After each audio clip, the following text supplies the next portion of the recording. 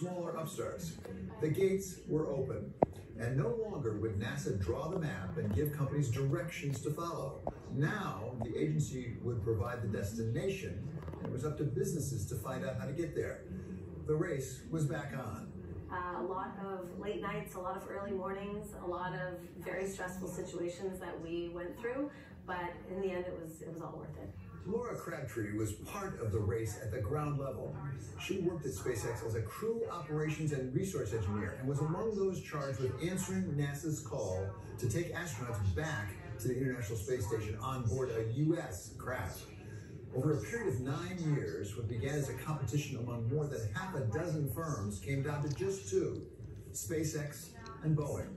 I think healthy competition is extremely good to keep people pushing boundaries. Um, without the competition with Boeing, I don't know if we would have all been as invigorated to get to the space station in 2020. Um, as you know, a lot of things happened in 2020, and there were a lot of hardships for each and every one of us during those times. And I personally put a lot of things on hold to get that mission to the space station that year. Um, if not for the competition, because we we thought at the time that we were both probably launching in 2020, and we just wanted to be first. And so we pushed really, really hard to get there. In the end, of course, it paid off.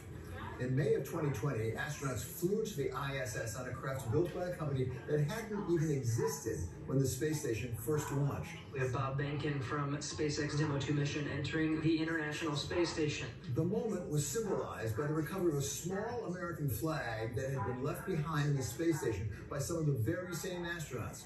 A modern day version of that old game we played as kids called Capture the Flag. This is the uh, flag that we left uh, here almost nine years ago. And at some point after the uh, end of the shuttle program, we decided uh, we, had, we would have a little friendly competition to see who came up and got this flag. And uh, congratulations, SpaceX, you got the flag.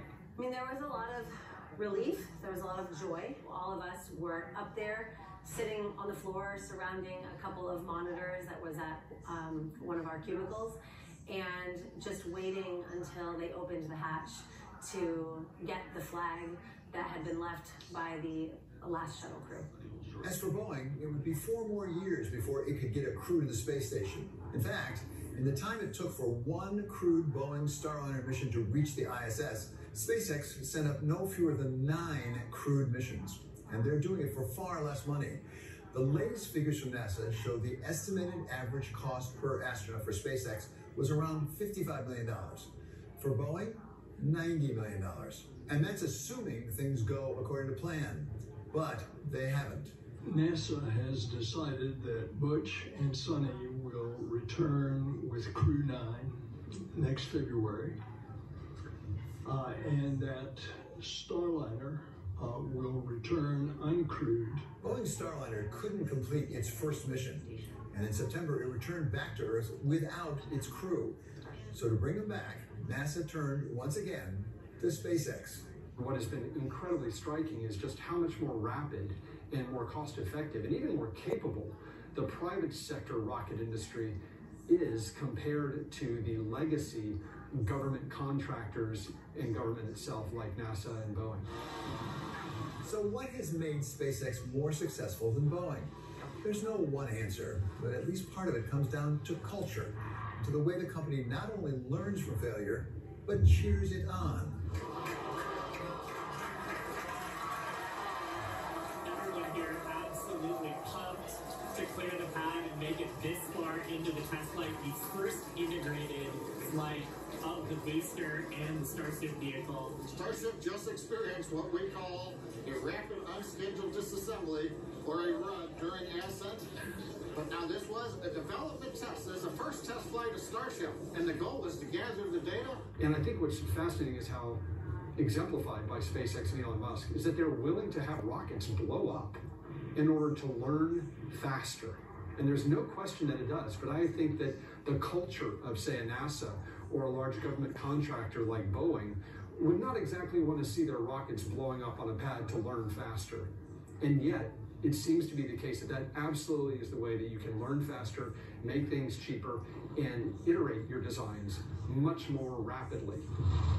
And if you look with that SpaceX's relationship with NASA, it's been very different than the traditional contractor model. Ron Epstein was an engineer for Boeing in the 1990s, and today he's managing director at Bank of America covering aerospace and defense. You know, the old model was, hey, we, we want this vehicle, here are all the specs, build it to this spec, we'll buy it. Where SpaceX has more of a launch it, build it, try it, fix it, build it, try it, fix it.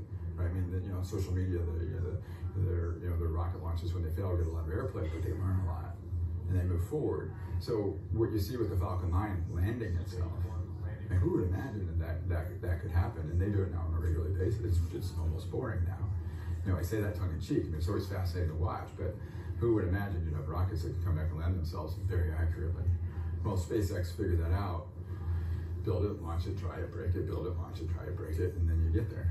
Uh, and that's a very different mindset than the traditional, here's our spec, build it, deliver it. Ooh, it doesn't work, fix our spec, which turns out to be far more expensive, and I would argue probably doesn't get you there as quickly. For